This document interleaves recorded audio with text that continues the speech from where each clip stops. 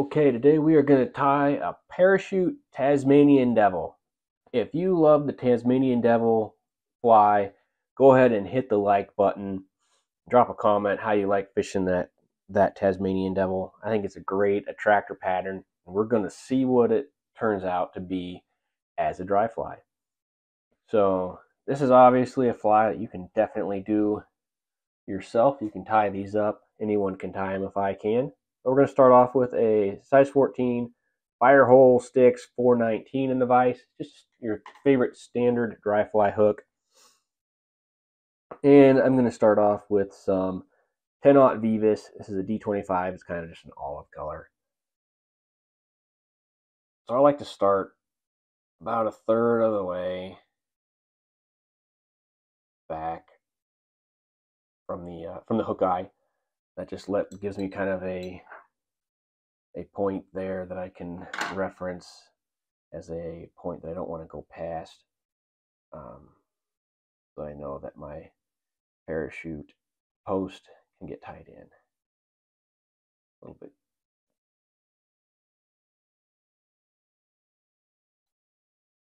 A little bit too crazy there with uh,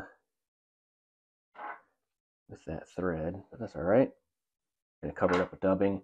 So the tail on Tasmanian Devil is Glow Brite. This is number five. It is a fire orange, fluorescent fire orange.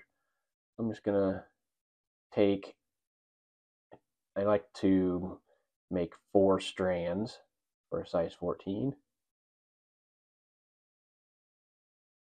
And just kind of keep them all together there.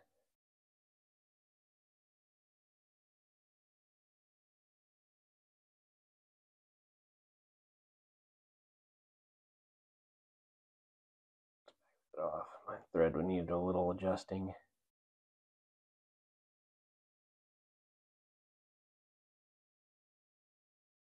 Okay. This fly does have a copper rib. So I'm using some small copper. For making this a dry fly, I might even use like a Semperfli, like a 0.01, just to keep it extra thin, keep as little weight as possible on this. So that would be more similar to like an extra small in the UTC.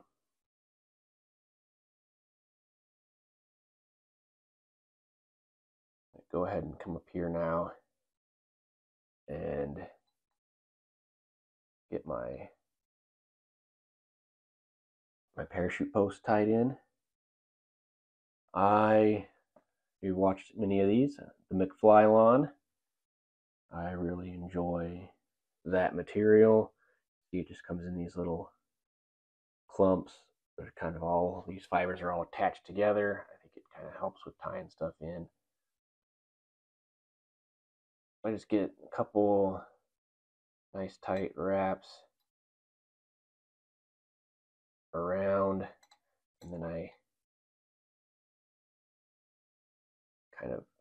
then I pull it out. The side always a couple wraps then get some then get some thread tension.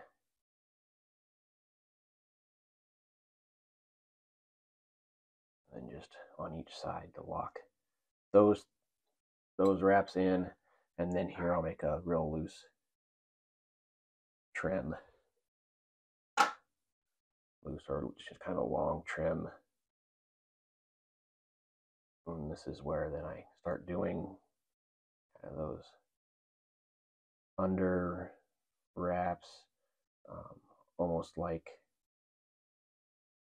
uh, dumbbell eyes, kind of how you go underneath those. So I just do a couple wraps, then I like to hold on to it and give it some tension. I don't want to pull on my thread when I don't have a hold of that because you'll just fold that over and all your wraps will come out. But I want to have decent thread tension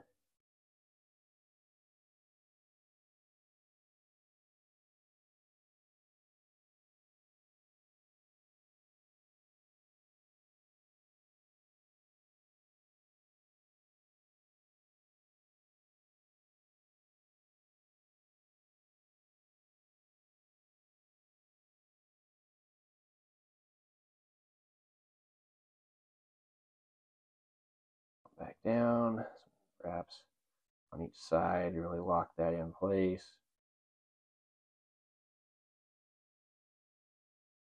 If you need to, I mean, you could put some super glue on that.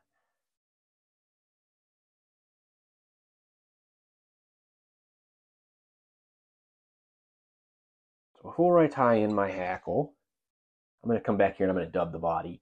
Just get that body all, body all dubbed up to the back of here, wrap my wire to the back, tie all that in. Then I'll get that uh, that hackle in. Um, for this fly, any natural hare, hare's ear dubbing for that body, but I really like this bug dub with a little bit of SLF. It's, it's nice and buggy, but it does have just a tiny bit of flash. You can see it, it stays pretty true to just a natural hare's ear, uh, especially when you're getting it on really thin, but it does just ever so slight bit of that SLF prism dub in there that just gives it just a little something extra. And for whatever reason, I feel like I can really make really nice dubbing noodles with this with this stuff. So I would definitely say go give it a try go with this noodle for now. See where it gets us. Gonna try to keep fairly thin body.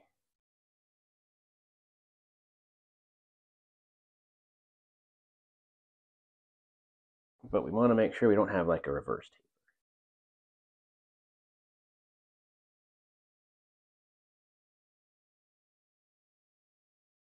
just keep really, really thin on this dubbing noodle. This will all work out nicely. I just want a little bit more right there behind the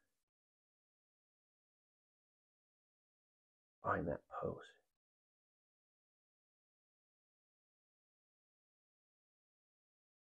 All right, that's good.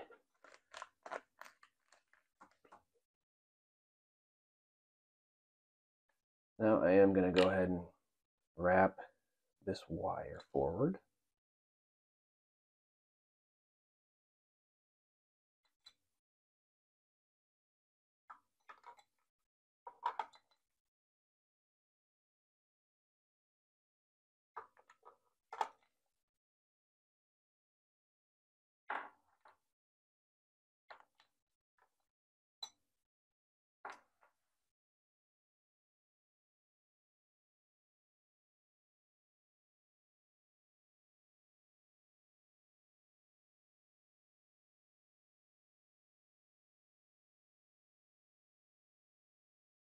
Some nice tension there. So we just helicopter that out.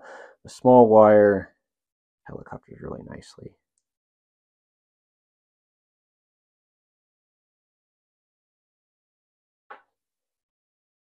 Make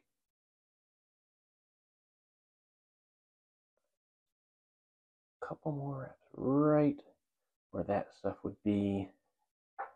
And I'm going to go ahead and trim this tail. I like to put my scissors right on the back of the hook and just move them slightly back from there. There's my tail. I will take some hackle pliers and then just grab those and then I can just keep those for the next fly. So now that we are up here, we are going to grab just a brown hackle um, and you can see we're kind of really just following the, the footprints of that uh, Tasmanian devil fly. So this is going to kind of be, instead of a CDC collar, we're using a dry fly hackle. So, so we're just going to go with just a brown hackle. I like to do one wrap like that to kind of get uh, get it tied down in front of the post and then here's where it can do that over again. There we go. I want to try to not have this thing spin on us.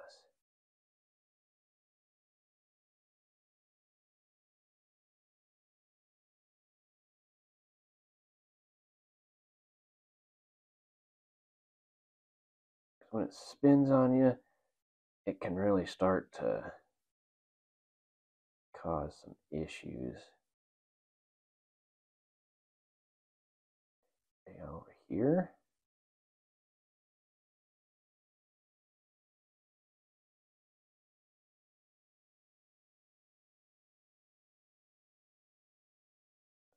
Be good. Come down here and then get a couple wraps.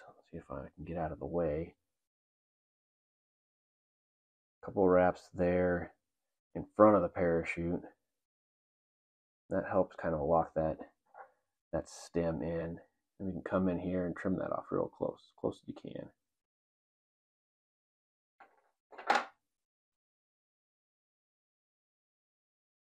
Then we should be able to parachute that. But this is one thing that kind of was a little bit more difficult to think about. The blow or blowtorch. This is similar to a blowtorch, but the Tasmanian Devil has a light pink tungsten bead on it. So I'm going to go ahead and just use some fluorescent pink. the 70 denier, uh, just because that's what I got. You could use, um, well, if I could, I, I would use some 10 aught, uh, just to keep things small.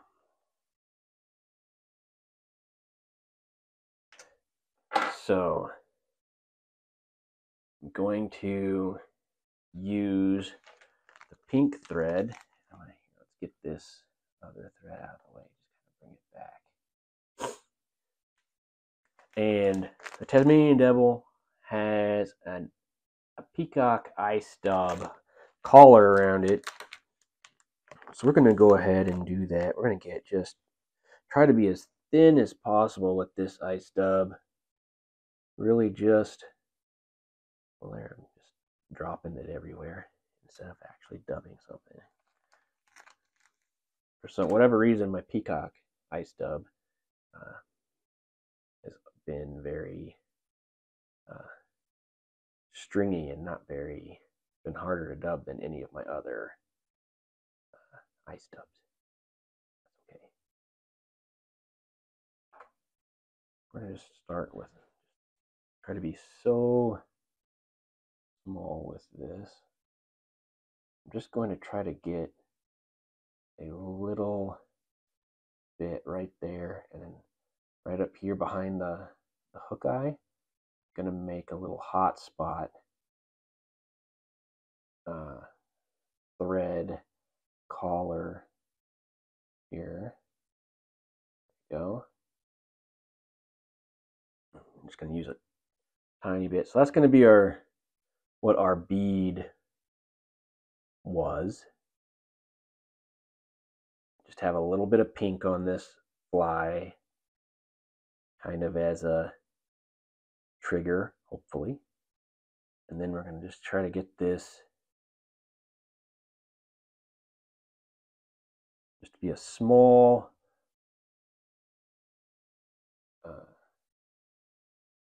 ice dub.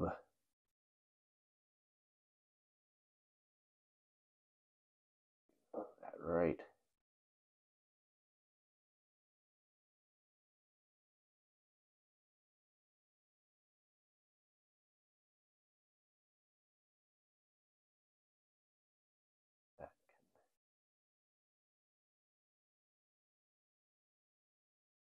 around there like that. How that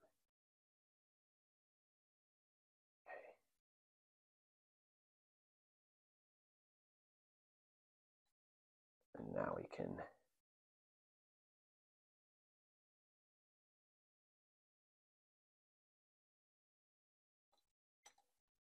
take that thread around there. That is good and trapped around that post. come in here. that out.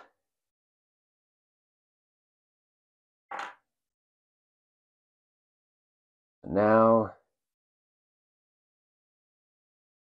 bend this down so hopefully this hackle will parachute nicely.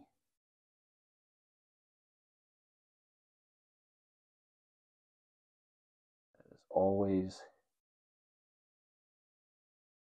the question, it seems.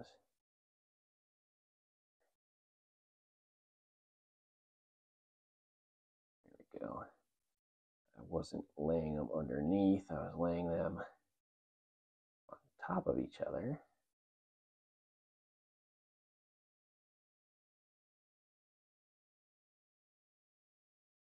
good wraps in there and then here just take that thread I like to do some wraps on top and then come underneath it do couple wraps underneath end with that thread in the back so there I can put the hook to the side like that and come in here trim that off close. I can do now I like to come and do my final trim on my post. I like to give it a little twist here. then about like that. And now you can either do the super glue method, however you like finishing out your parachutes. So here I'm going to move it to where you can almost not see it. and come and whip finish underneath that on the parachute post. It's a good way to do it. You trap some, you can, it's possible to trap some fibers, just kind of be careful, take your time. And I don't know if that was, that was probably not the best example of a whip finish. I'll just do another one real quick.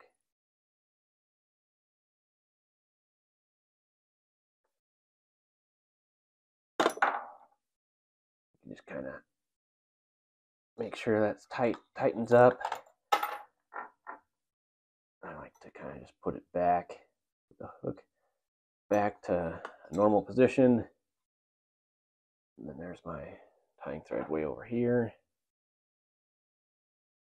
And just, I just follow that thread. That helps me not trim a bunch of hackle fibers do have some other fibers that are just bothering me. Wouldn't really have to do anything with those. You know, it kind of keeps things buggy.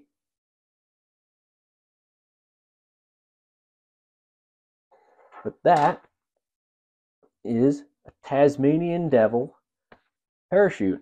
If you, mm, again, if you love the Tasmanian Devil nymph, go ahead and give this fly this video a like and drop a comment on how you like to fish that.